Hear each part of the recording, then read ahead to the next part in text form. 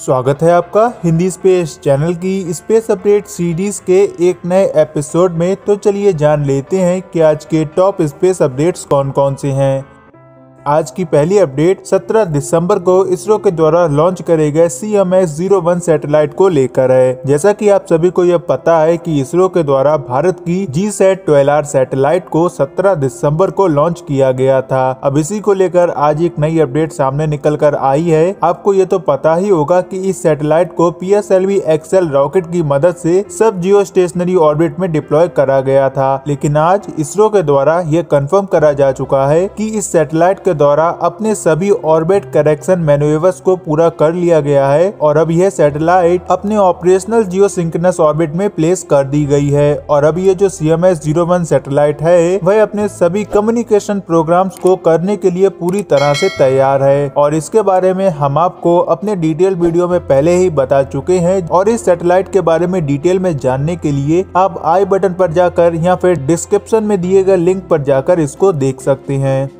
आज की दूसरी अपडेट स्पेस एक्स के द्वारा लॉन्च किए जाने वाले क्रू थ्री मिशन को लेकर है। जैसा कि आपको यह पता है कि स्पेस एक्स के द्वारा अपने क्रू वन मिशन को सफलता पूर्वक लॉन्च किया जा चुका है और अब स्पेस एक्स के द्वारा लॉन्च किए जाने वाले उसके क्रू थ्री मिशन के तहत इंटरनेशनल स्पेस स्टेशन तक भेजे जाने वाले चार एस्ट्रोनॉट को भी सिलेक्ट कर लिया गया है। अगर आपको स्पेस एक्स के द्वारा सिलेक्ट करे गए तीन एस्ट्रोनॉट के बारे में बताएँ तो ये तीनों ही एस्ट्रोनॉट नासा और यूरोपियन स्पेस एजेंसी को बिलोंग करते हैं और इनके नाम नासा के astronaut Raja Chari Tom Marshburn और यूरोपियन स्पेस एजेंसी के एस्ट्रोनॉट मैथियस मोरर शामिल हैं, जिसमें कि जो राजा चेरी एस्ट्रोनॉट हैं वह क्रू थ्री मिशन के कमांडर होने वाले हैं और टॉम मैर्शबर्न को इस मिशन के पायलट के रूप में सिलेक्ट करा गया है। वहीं मैथियस मोरर को मिशन स्पेशलिस्ट की पोजीशन पर सिलेक्ट करा गया है। बाकी स्पेस का यह जो क्रू थ्री मिशन है, इसको 2021 के अक्टूबर महीने में लॉन्च किए जाने के लिए शेड्यूल करा गया है और मार्च 2021 में स्पेस एक्स के द्वारा अपने क्रू टू मिशन को लॉन्च किया जाएगा, जिसमें की नासा के चार एस्ट्रोनॉट्स को इंटरनेशनल स्पेस स्टेशन तक भेजा जाएगा और स्पेस एक्स के क्रू वन मिशन को 2020 में पहले ही सफलता के साथ लॉन्च भी किया जा चुका है। वैसे आपको बता दें कि नासा के द्वारा अपने एस्ट्रोनॉट्स को रशियन सोयूज रॉकेट के बजाय अब स्पेस एक्स जैसी प्राइवेट स्पेस कंपनीज़ के कॉमर्शियल रॉकेट्स की मदद से भेजा जाता है, जिसकी कॉस्ट नासा के द्वारा लॉन्च करे जाने वाले अपने एस्ट्रोनॉट्स मिशन से कम आती है। बाकी क्या आप ये जानना चाहते हैं कि आखिर सोवियत यूनियन, जो कि एक टाइम में स्पेस सुपर पावर के नाम से जाना जाता था, प्रेजेंट टाइम में रूस का स्पेस डेवलपमेंट और इंटरनेशनल स्पेस स्टेशन में क्या रोल है? अगर आप इसके बारे में जानना चाहते हैं तो कमेंट सेक्शन में एक बार ज़रूर बताएँ।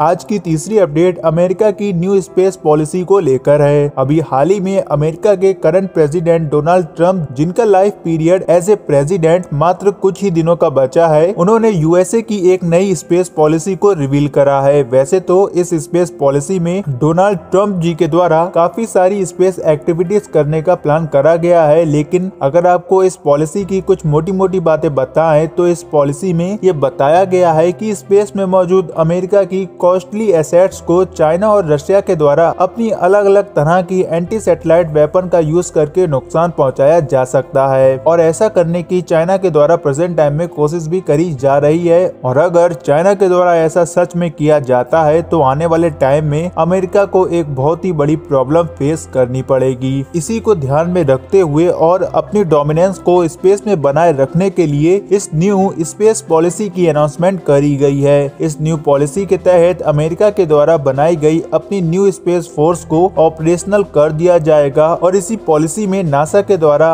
अपने एस्ट्रोनॉट्स को एक बार फिर से मून पर लैंड करवाने के लिए 2024 में मिशन को लॉन्च किया जाएगा और इस बार मून पर अमेरिकन स्पेस फोर्स का एक परमानेंट बेस भी बनाया जाएगा, जिस पर अमेरिकन एस्ट्रोनॉट और उनके अलाइस कंट्रीज़ के द्वारा अपने अपने एस्ट्रोनॉट्स को भेजा जाया करेगा। वही नासा के द्वारा मार्स पर भी क्रूड मिशन को भेजने के लिए प्लान प्लान करा गया है, जो कि शायद 2028 से 2030 के बीच में SLS यानी कि स्पेस लॉन्च सिस्टम रॉकेट के फुली डेवलप होने के बाद और इसकी मदद से नासा के एस्ट्रोनॉट्स को मून पर लैंड करवाने के बाद ही इनको मार्स पर भेजने के लिए पूरी तरह से प्लान किया जाएगा। वैसे अगर देखा जाए तो नासा के द्वारा मार्स पर भेजे जाने वाले ह्यूमन फ़्लाइट मिशन में इतनी परेशानी नहीं आएगी, क्योंकि स्पेस एक्स के द्वारा भी अपना स्टार रॉकेट डेवलप करा जा रहा है, जिसका मेन मोटिव मार्स पर ह्यूमन फ्लाइट्स को लॉन्च करना ही है। वैसे आपको मार्स पर इंसानों के भेजने के बारे में क्या विचार है कमेंट सेक्शन में ज़रूर बताएँ। आज की चौथी अपडेट प्रोक्सीमा सेंचुरी से आए मिस्टीरियस इलेक्ट्रॉनिक सिग्नल को लेकर है। जैसा कि हमने आपको अपने कल के स्पेस अपडेट एपिसोड में यह बताया था कि हमारे सन के पड़ोसी स्टार सिस्टम प्रोक्सीमा सेंचुरी से वैज्ञानिकों को एक अजीब से रेडियो सिग्नल्स रिसीव हुए हैं। इसी को लेकर एक नई अपडेट यह निकल कर आ रही है की जिन वैज्ञानिकों के द्वारा इन सिग्नल्स को रिसीव करा गया है, उनका यह कहना है की वो इन रेडियो सिग्नल्स पर रिसर्च पेपर को तैयार कर रहे हैं, जिसके बाद इन सिग्नल्स के ऊपर पर आगे की रिसर्च करी जाएगी। वैसे ये जो सिग्नल्स हैं, वह एक 980 मेगाहर्ट्ज की नैरो बीम थी और ये हमारे पड़ोसी स्टार सिस्टम प्रोक्सिमा सेंचुरी से आ रही थी, जो कि एक रेड डॉफ स्टार का प्लेनेट सिस्टम है और इसके ऑर्बिट में कम से कम दो प्लेनेट्स मौजूद हैं। इनमें से जो एक प्लेनेट है मतलब कि प्रोक्सिमा सेंचुरी वी, वह अपने स्टार के हैबिटेबल जोन में ऑर्बिटिंग कर रहा है और वैज्ञानिकों की माने तो इस प्रोक्सिमा सेंचुरी भी प्लेनेट की जो कंडीशन है, वहाँ पर हमें लिक्विड वाटर भी देखने देखने को मिल सकता है। और अगर इन सिग्नल्स को किसी इलेक्ट्रॉनिक इक्विपमेंट का यूज़ करके भेजा गया है तो हो सकता है कि यहाँ पर किसी प्रकार की लाइफ मौजूद हो, जो कि हमसे कांटेक्ट करने की कोशिश कर रही हो। लेकिन आपको यह भी बता दें कि जब नासा के द्वारा इस पर आगे की रिसर्च करी जाएगी, तब नासा के द्वारा एक स्टेटमेंट जारी करके यह बताया जाएगा कि यह सिग्नल्स प्रोक्सिमा सेंचुरी के किसी प्लेनेट से नहीं आ रहे थे, बल्कि प्रोक्सिमा सेंचुरी से कुछ ही लाइटियस की दूरी पर मौजूद स्टार के नेब्यूला बनने की वजह से पृथ्वी तक पहुँचे थे। बाकी आपका मेरे इस स्टेटमेंट के ऊपर क्या विचार है, एक बार कमेंट सेक्शन में ज़रूर बताएँ। तो आज के इस वीडियो में बस इतना ही। अगर आपको ये वीडियो इन्फॉर्मेटिव लगी हो तो इस वीडियो को लाइक और शेयर करने के साथ साथ हिंदी स्पेस चैनल को सब्सक्राइब कीजिए। ऐसे ही और वीडियोस को देखने के लिए तो मिलते हैं अगले वीडियो में। तब तक के लिए जय हिंद, जय भारत।